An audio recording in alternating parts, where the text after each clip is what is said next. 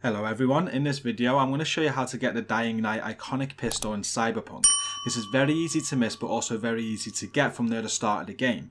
If you do miss it like I did then you can go back to get it. So starting from your apartment which you're forced to do a few times through your playthrough, you just want to head down to the lift. Directly across from that is the Second Amendment gun store. You speak to the guy here to get a side quest but if you have a look at what he is selling you'll notice the iconic Dying Night, and it is also free.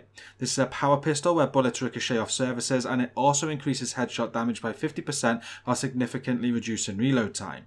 This was a little low on the DPS front for me as I came back for this later in the game, but with all iconic weapons, you'll be able to upgrade them to epic and then to legendary, so I'll be looking to do that as soon as I'm able to.